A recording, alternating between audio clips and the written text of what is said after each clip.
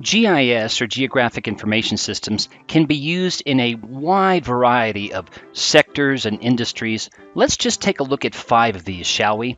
Let's start with public health. Well, GIS, or Geographic Information Systems, offers many applications and functionality that are tremendously beneficial to the public health industry.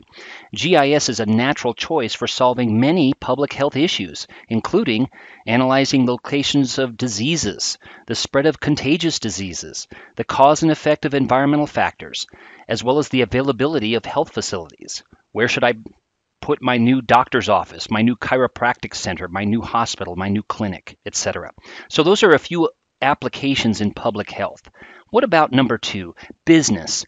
Businesses continue to embrace GIS as an effective alternative to traditional manual mapping analysis methods. GIS has emerged as an affordable solution for performing essential revenue producing and expense reducing functions. Companies of all sizes are unleashing the business potential of GIS on the marketplace. Now, they don't always call it GIS, they call it location analytics most commonly.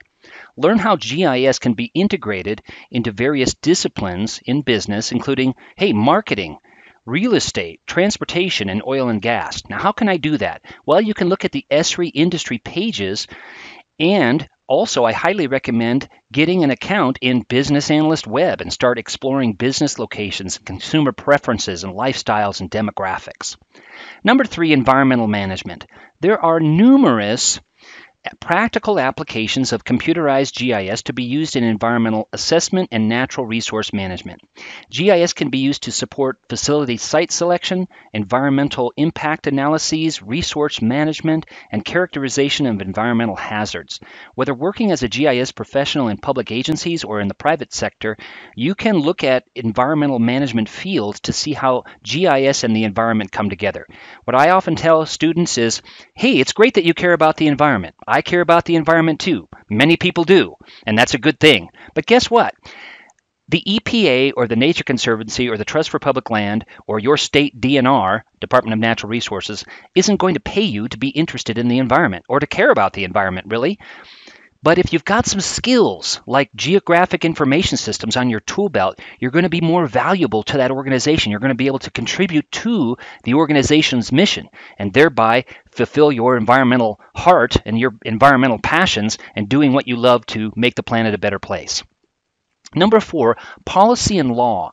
The evolution of GIS and the mobile device directly impacts governments, companies, and individuals on a daily basis. Now, in today's world, more than 3 billion people have smartphones in their hands constantly. This was in 2019.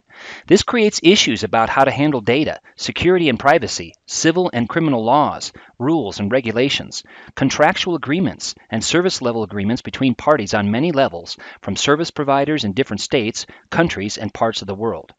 So also, GIS has always been used in law and policy because things happen in certain places, and so they're affected by people and boundaries and, and, and places, and all of those can be mapped and analyzed and used effectively in policy and law. And fifth and finally, urban planning.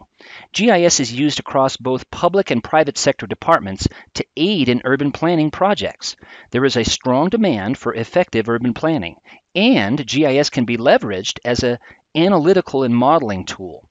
Whether constructing a bridge or building a city, GIS is a crucial tool to monitor areas, conduct feasibility studies, learn about location sustainability, and plan and manage urban planning projects. Oftentimes we hear the phrase smart cities, and GIS is right there.